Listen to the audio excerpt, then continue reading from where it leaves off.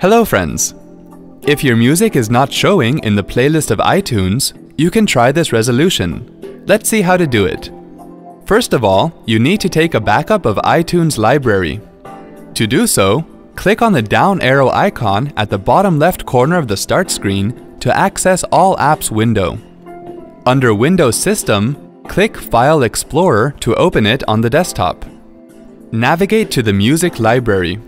Now drag the iTunes folder to the external hard drive to create a backup of your iTunes library.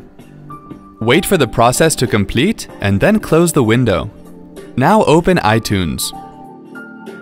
If you are trying to play any song from an album and it's showing an error saying the original file could not be found, then first click Cancel on the error message window.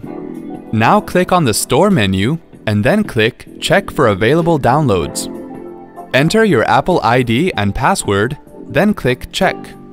Here you can resume the incomplete downloads if they are listed as unfinished, and then close the window.